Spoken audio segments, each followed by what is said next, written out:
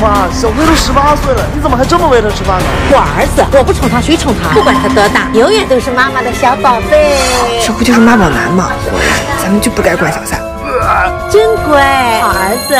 小辉，你好了没啊？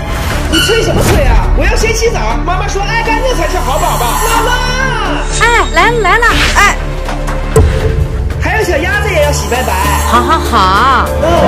小辉，你怎么还不起来？啊！你喊什么？再把我儿子吵醒了。妈，他都这么大了，还跟妈妈睡，你让他独立。小辉怕黑，只有在妈妈的怀抱里才能睡得安稳。你懂什么是母爱吗？走走走走走，乖。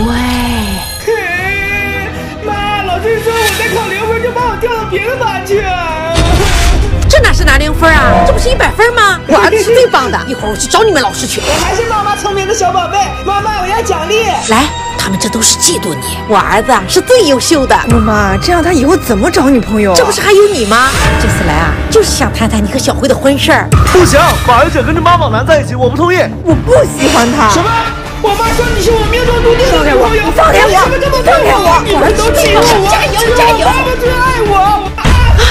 妈，他们都欺负我。谁敢伤害我儿子，我饶不了你。